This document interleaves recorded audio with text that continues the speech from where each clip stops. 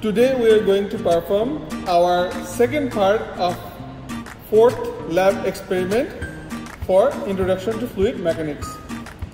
We're going to use an Archimedes apparatus to prove Archimedes' principle of buoyancy force.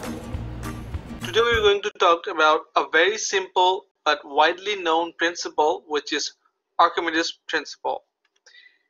The learning objective for today is to verify the Archimedes principle using a brass bucket and cylinder with a lever balance and displacement vessel.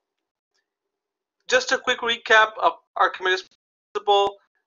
It says the buoyant force on an object that is immersed in liquid is equal to the weight of the fluid displaced by the object.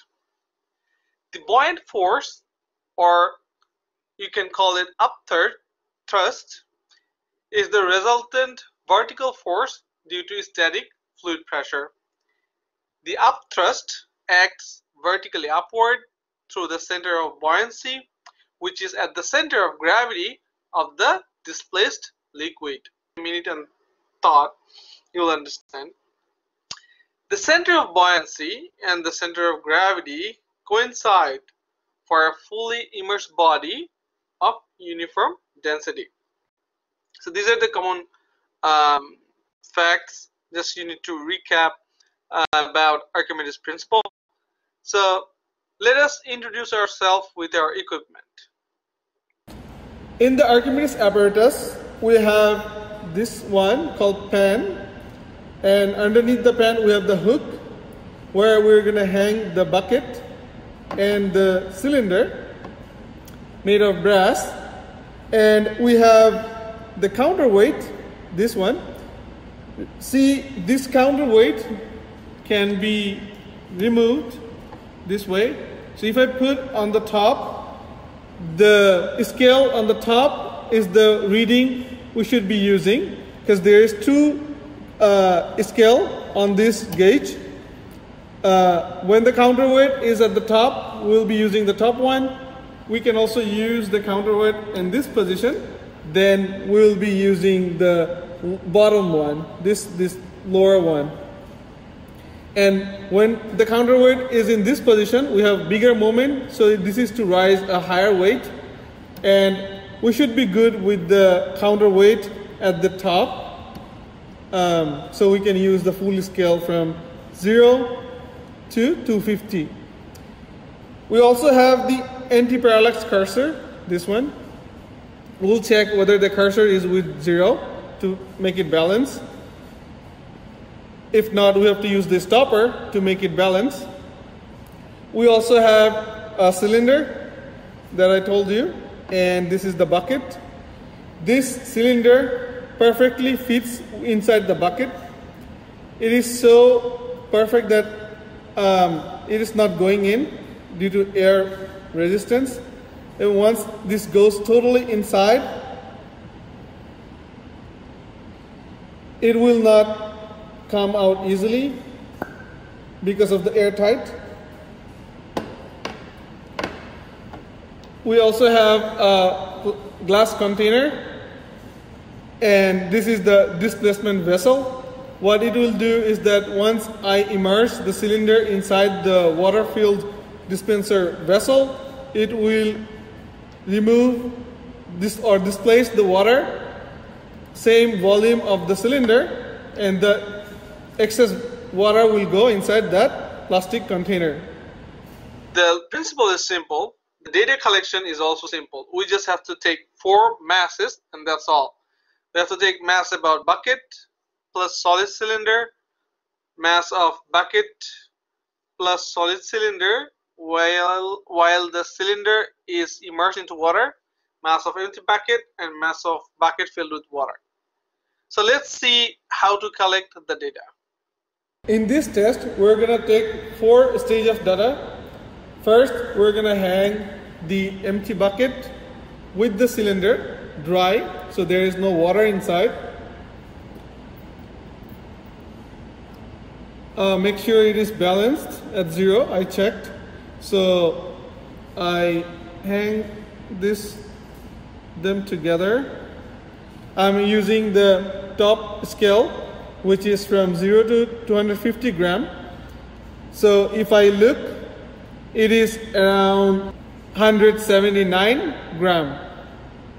Now I'm going to take the measurement of the empty bucket without water. Which is um, 98 gram. Next, I'm going to slowly fill the um, displacement vessel so that up to the point where it lets go the additional water.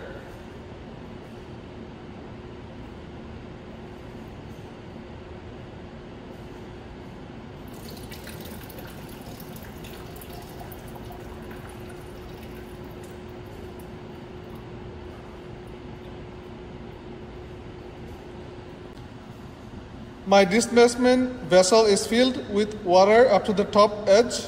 Now it's ready to be tested. I will take the bucket and the cylinder and slowly immerse into the water and that should cause the excess water to go out, pour into the beaker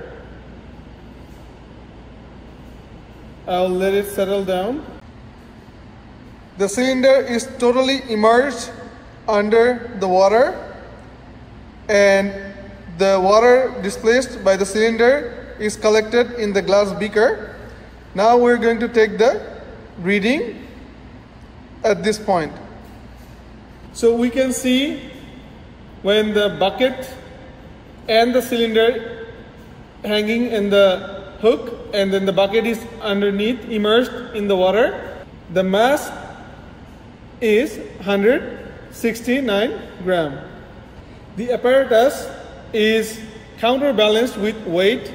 So this is uh, another mass, this is mass, it is balanced. So this uh, counter system gives us the mass, not the weight, because gravitational force acting on both sides. Now our system is stabilized, no water is coming out from the displacement jar to the beaker here. So now I'm going to remove this and remove our bucket and cylinder.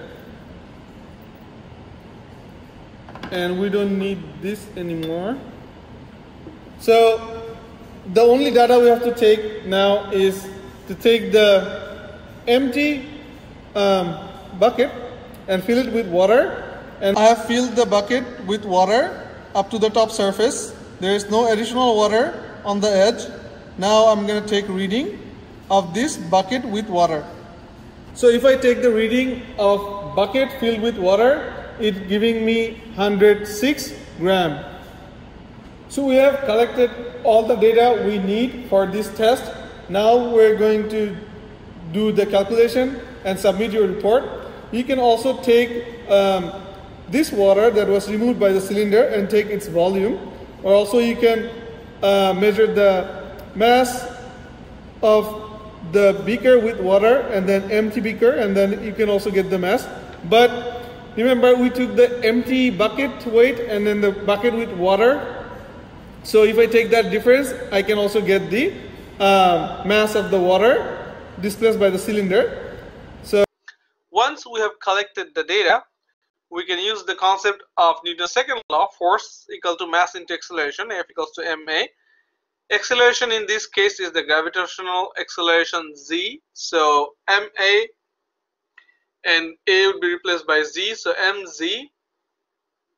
We can get the up thrust, m1 minus m2 multiplied by z. And the mass of water would be here we are talking about the mass of the water um, displaced by the cylinder. So M M4 minus M3 multiplied by Z. So according to Archimedes principle, our goal would be to see if those upthrust and mass of water are the same. As, as long as they are same, we can confirm that the Archimedes principle is valid. That was the second part of our experiment 4. Um, we will next we'll talk um, about test 5.